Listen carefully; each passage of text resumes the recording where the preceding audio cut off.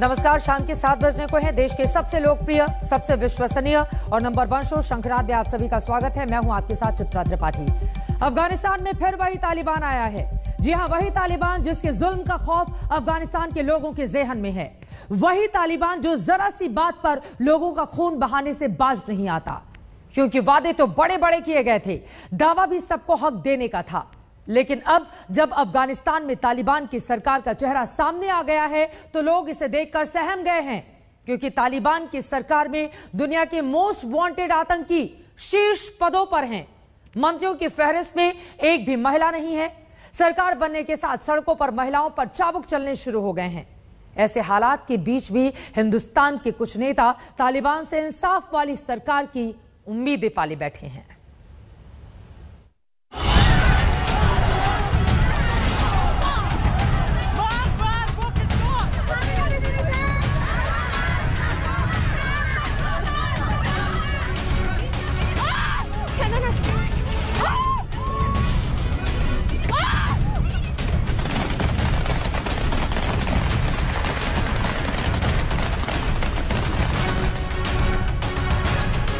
जब कैबिनेट में आतंकी होंगे तो सड़कों पर ऐसे ही गोलियों की आवाज़ें आम होंगी। जब पाकिस्तान दोस्त होगा तो विरोधियों को ऐसे ही कुचला जाएगा। महिलाओं पर अत्याचार होगा दहशतगर्दी होगी आतंक होगा। ये तालिबान में सरकार के गठन के बाद का ट्रेलर है। जहाँ सड़क पर महिला को अकेला चलना मना है, वरना चाबुक से मारा जाता है। महिलाएँ विरोध करती हैं तो गोलियाँ चलाई जाती हैं।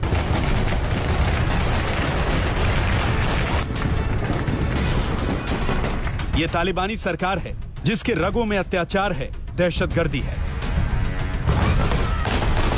ये तालिबानी सरकार है, जिसे बंदूक चलाने के सिवा कुछ नहीं आता। तालिबान की कैबिनेट का ऐलान हुआ तो 33 मंत्रियों में एक भी महिला को जगह नहीं मिली।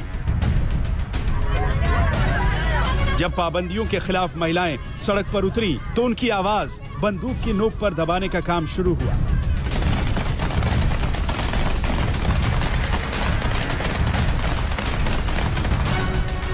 एक के बाद एक फरमान जारी होने लगे। तालिबानी सरकार ने साफ़ कह दिया कि महिलाओं के लिए खेल कूद ज़रूरी नहीं है। यानी 20 साल तक अफगानी लड़कियों ने जहाँ फुटबॉल से लेकर क्रिकेट तक में हिस्सेदारी निभाई, उन्हें तालिबान ने घर पर बैठने का फरमान जारी कर दिया है।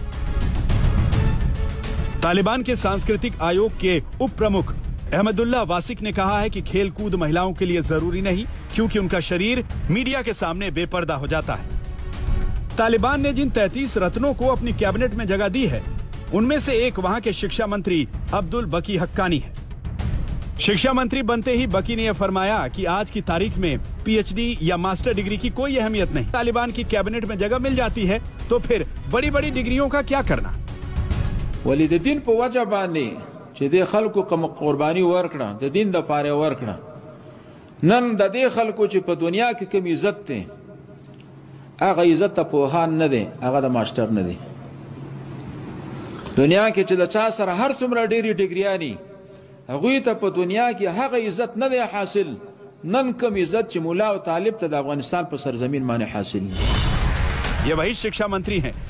जिन्होंने लड़के और लड़कियों के बीच पर्दा डालने वाला फरमान जारी किया था जिसकी तस्वीरें अफगानिस्तान से सामने आई थी लेकिन उम्मीद पर दुनिया कायम है ऐसी ही एक उम्मीद जम्मू कश्मीर के पूर्व मुख्यमंत्री फारूक अब्दुल्ला ने पाल रखी है जो भरोसा जता रहे हैं कि तालिबान सुधर जाएगा जो भरोसा दिला रहे हैं कि तालिबान अब पहले जैसा नहीं रहेगा। ऐसा ही एक भरोसा महबूबा मुफ्ती ने भी जताया है। देखिए, अफ़गानिस्तान एक अलग मुल्क है और उन्हें अब उस मुल्क को संभालना जो वहाँ पे आए हैं। मैं ये उम्मीद करूँगा कि वो इंसाफ हर एक से करेंगे और एक अच्छी हुकूमत चलाएँगे, जिसमें वो इंसानी हकूक़ को मद्देनज़र रखेंगे और इस्लामी असूल पे चलाएँगे। मैं साथ साथ ये भी कहूँगा कि उन्हें कोशिश करनी चाहिए हर मुल्क के साथ अपने दोस्ताना ताल्लुक़ पैदा करने की। ठीक है मैं ये समझती हूँ कि तालिबान एक हकीकत बन के सामने आ रहा है और उनको चाहिए कि जो उनकी जो पहली बारी में उनकी जो इमेज बनी है वो बहुत ही इंसानों के ख़िलाफ़ थी ह्यूमनिटेरियन राइट्स के ख़िलाफ़ थी।